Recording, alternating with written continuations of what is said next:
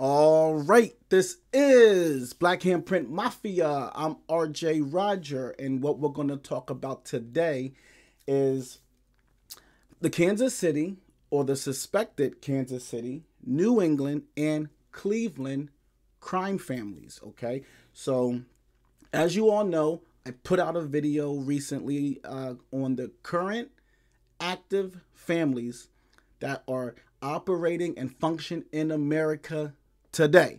I also listed all of their bosses. If you haven't seen it, check the video out.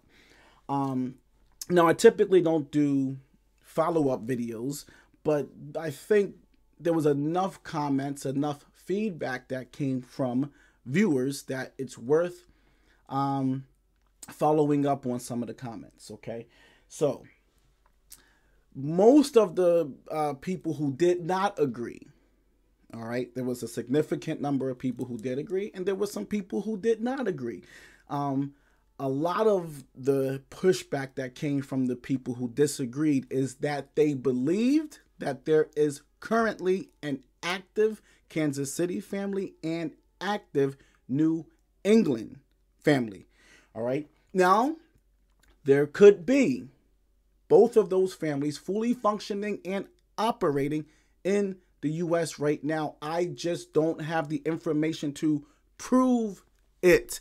All right. I get slaughtered on this channel if I can't prove something. So, the 10 families that I did list, okay, I can prove it if somebody pushes back because there are um, open investigations, confidential informants, press and media reports, um, recent indictments, recent arrests, recent convictions, um, things. So all of that is a way that I can say, okay, there could be something functioning, something going on here, but I have to have that. I can't just say it. it has to be something that I can point at and say, here's the evidence.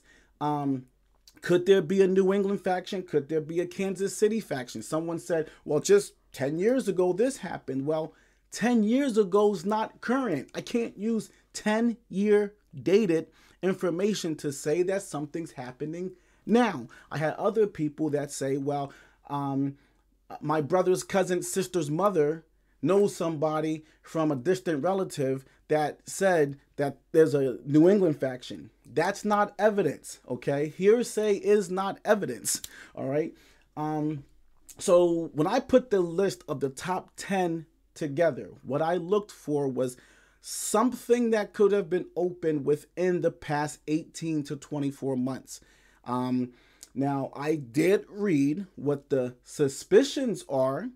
People believe who people believe the boss is. I just can't find anything that shows an active, organized crime family. So I made a phone call to a very good source. Now, I will note when I put that list of the top 10 active or the 10 active families remaining. I made phone calls, I did extensive research, I read everything, looked for open indictments, read court documents. I really put a lot of effort into coming up with that list. I called other mob historians, criminologists, people who study crime. Um, I even called people that I know that have connections in that world, people who are former members in that world. And I so I didn't just willy nilly throw this list together, okay? But I will say, again, this is open for discussion. Doesn't mean I'm right. Doesn't mean you're right. No more than it means I'm wrong and you're wrong, okay? It's open for discussion. My research and with the most credible information available suggests there's 10 active families and I would and I don't know what the strength levels of those 10 families are. So, I made a phone call after I read some of the comments. And what somebody told me, a very, very credible person told me, is that in regards to Kansas City, New England, and Cleveland, there is possibly, this is what I was told, there is possibly a few guys left from a couple crews that are working together. So those crews could have been former New England Capos, New England crews, a crew that used to work with the uh, uh, New England family or the Kansas City family. And it's a very big distinction between crew, family, okay? Um, Cosa Nostra family is an organized thing. It has a hierarchy system. It has rules, regulations, and order. A crew is a very different thing. A great example would be Lucky Luciano's crew before it aligned with um, Joe Masseria. So he was a crew. That's all he was. It was him and a crew of his guys. He worked with Frank Costello, Meyer Lansky, Vito Genovese, Bugsy Siegel, Joe Adonis. They were controlling, they had an operation that was bringing in millions. They were um, paying off politicians, law officials, controlling gambling operations, um, underground carpet joints, and speakeasies. Uh, whiskey, they were very big bootleggers. Uh, Meyer Lansky and Bugsy Siegel had a major protection racket. So, but they were just a crew. They didn't have a system of you're the boss, I'm the underboss, you're the uh, consigliere, you're a soldier. They were a crew of guys working together and putting everything they had in the pot. Now, Masseria and Maranzano were much, much bigger. And the easiest way to explain it is that, and I talked about this before, Cosa Nostra is a thing of evolution. So you have small little gangs, two, three, four, five people, that merge with another gang of two, three, four, five people, and they come together. Now that's a 10 member gang. And now that 10 member gang is bigger than all the other two or three or four, five member gangs that are around. Eventually, that 10 member gang goes to this gang that's five people and says, Hey, why don't you come with me? You guys are doing good. With our backing, you're going to get bigger and stronger, and we need more men. Now you have a 15 member gang, okay?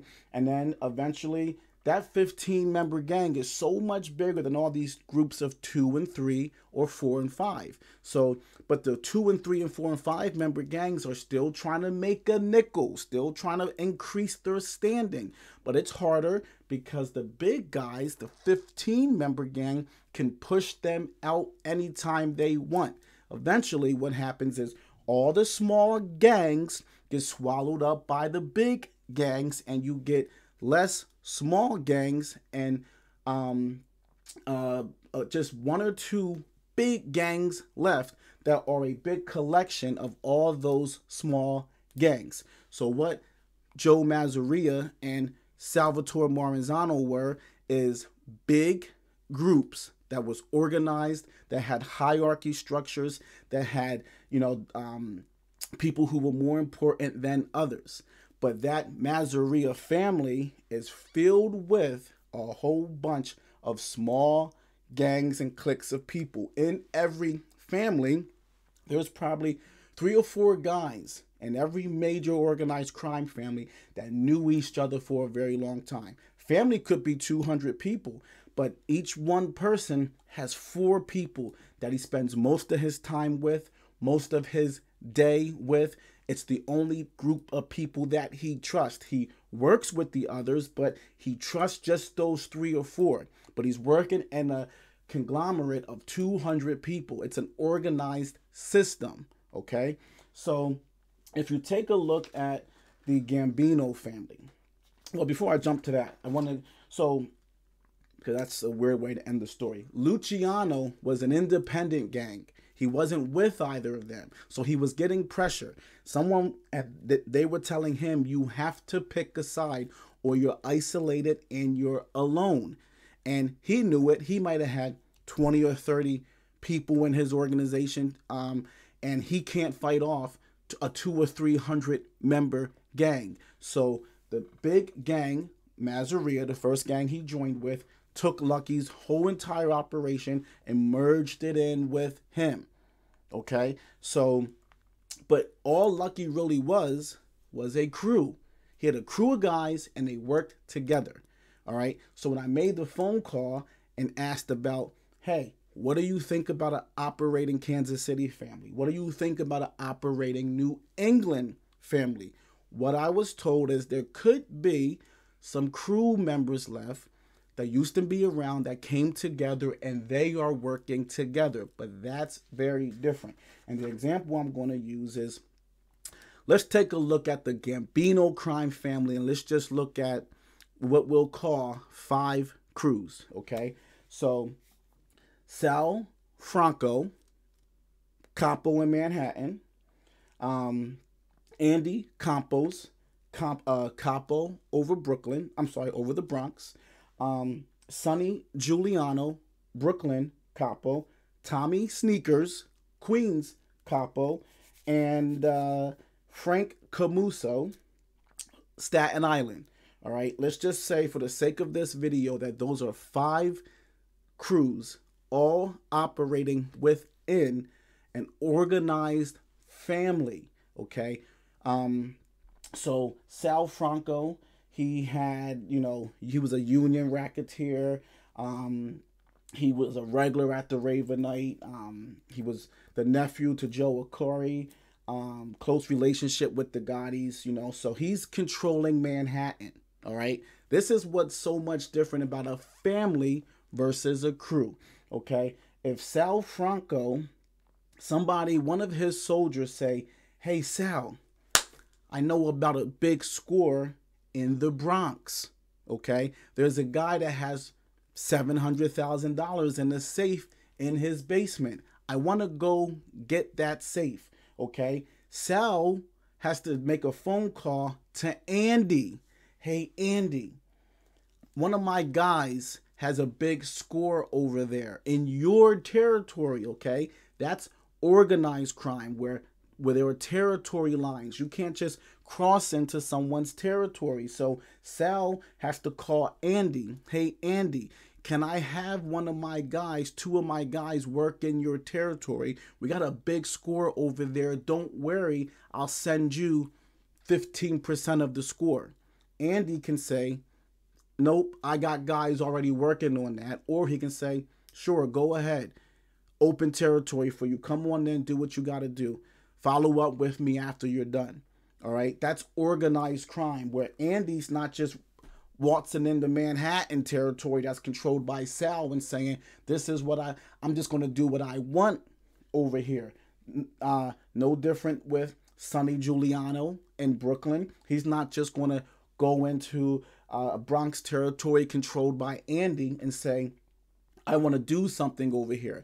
There has to be sit downs, discussions, plans, um, respect. Hey, um, Tommy Sneakers in Queens or Frank Camuso in Staten Island. Nobody's walking into anybody's territories. There is jurisdictions. There is, and on top of all of that, you have an administration who's approving and disapproving and having sit down. So you have a boss, a consigliere, an underboss who say uh, Campos once is having a beef with Juliano, saying, "Hey, uh, Campos might go to the consigliere or go to the underboss and say, "Hey, I have this big score in Brooklyn. I'm getting pushback from Juliano. He's he's moving in on my score. I called him. I did everything the right way. Why is he pushing back on me? Um, now there's an administration that can say, "Hey, Juliano, stand down, Sonny. Stand down and let Campos do this. It's good for the family." Or he could say, "Andy, this isn't your territory. We're going to let Sonny handle this." Okay? And then there's nothing Andy can do. All right? So in a family, you have territory lines, you have a system of order, and you have policies and procedures. That's an organized crime family. I don't know that that's is that that's what is existing in Kansas City or New England, where you have various capos controlling various territories. I don't know that there's an administration with a set of capos and a regulatory system. I don't know that that is probably existing. Could be, don't know. But I take the position no because I can't find evidence to suggest. So now look at this. So let's say there's a collapse of the administration. All right. Um, civil war in the family. All right. That happened with in the Bonanno family. That has happened in the Colombo family, the famous banana split. Um, so cop families, uh, the family splits.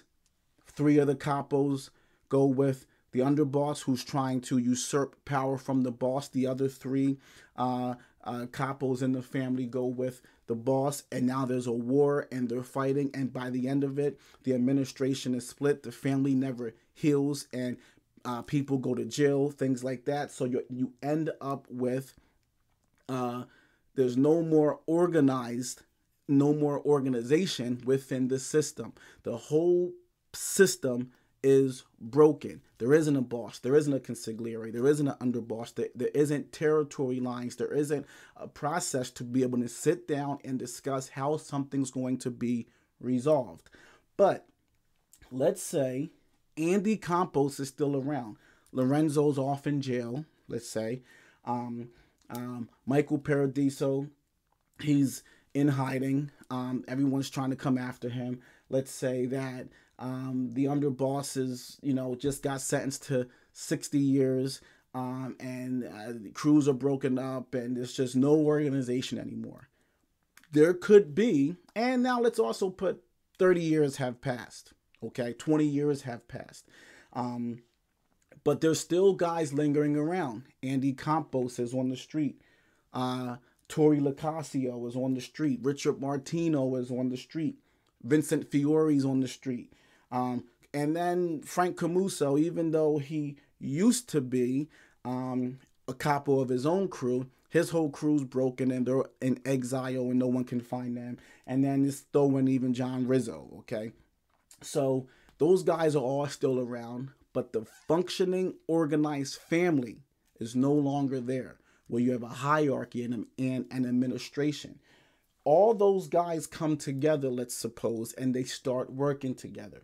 There really isn't an organized family anymore, Gambino family, but these crew members come together and they're working together.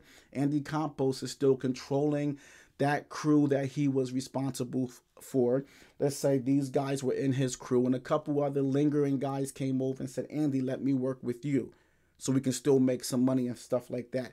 That's a crew that's operating but it's not a big organized system. I kind of take the position that this is what is happening in Philadelphia and New Jersey, where there might not really even be fully functioning families. There could honestly just be crew members or a crew, especially Philadelphia. That's probably just that uh that a crew of guys who were longtime friends that work together and they're operating under the Philadelphia flag Okay.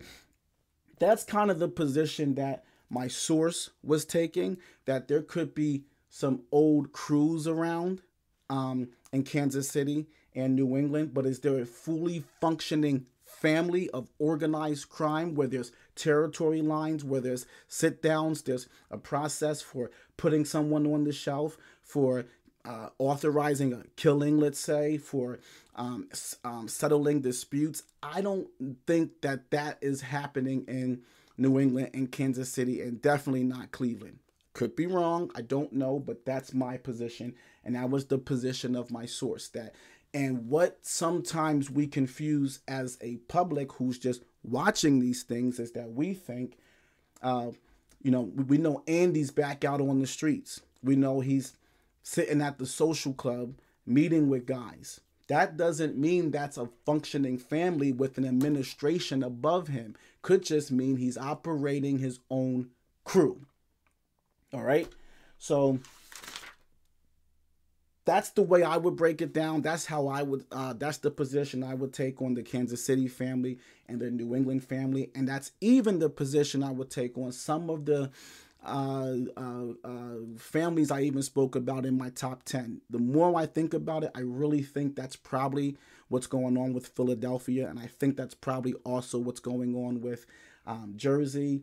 Um, I would say maybe not Buffalo, highly likely not Chicago. Chicago, possibly, but probably not Chicago, probably not Detroit, probably not Buffalo, and likely not the uh, the Big Five. So there's probably, in my estimate, uh, there's probably a fully functioning administration and a system of order with probably eight families: the five in New York, Detroit, Chicago, and Buffalo.